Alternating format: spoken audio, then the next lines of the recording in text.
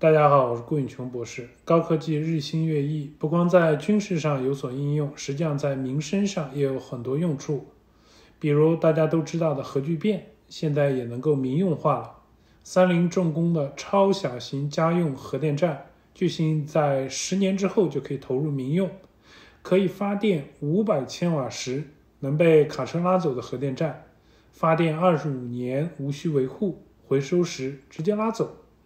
平时就埋在后院的地下或者水池中，比传统的核电站安全级别要高很多。